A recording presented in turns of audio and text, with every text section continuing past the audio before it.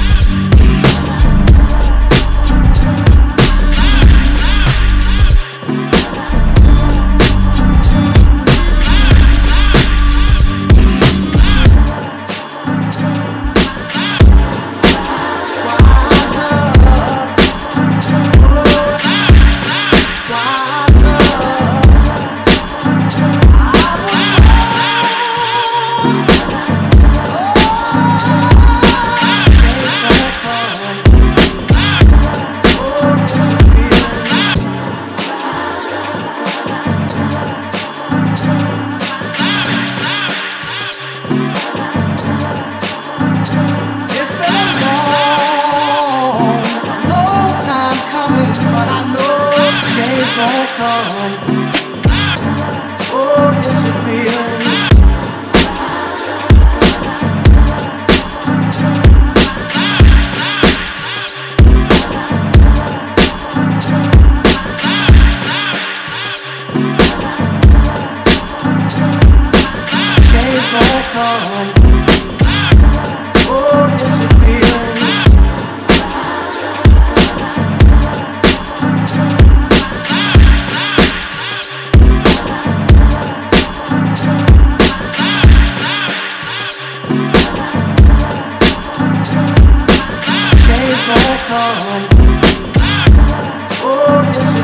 I won't be like this forever. You've seen with your own eyes. Changing every day, growing in aspects, growing more wise. The way I see the world, the evolution of my beliefs, the newest particulars of my way of thinking a year ago, you couldn't have ever convinced